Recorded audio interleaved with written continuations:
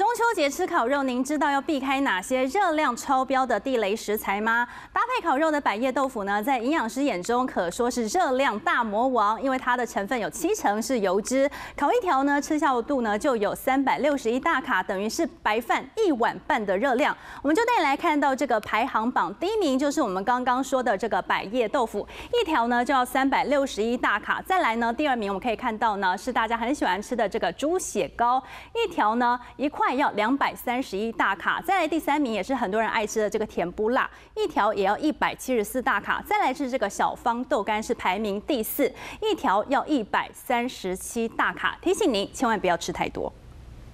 中秋烤肉，不停的烤，不停的吃，但你知道这些食材里热量大魔王是谁呢？会不会是香肠啊？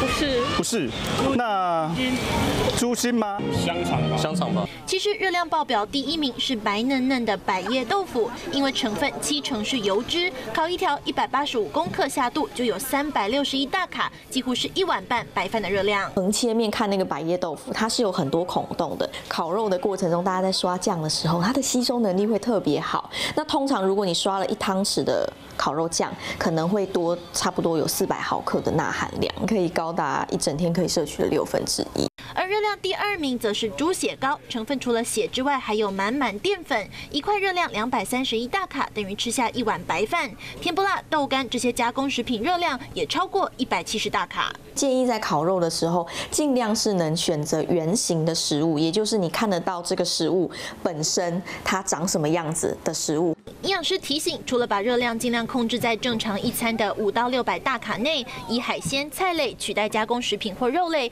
才不会廉价过完，血脂、血糖、血压也都飙高。华视新闻，我们下次林志纯台报道。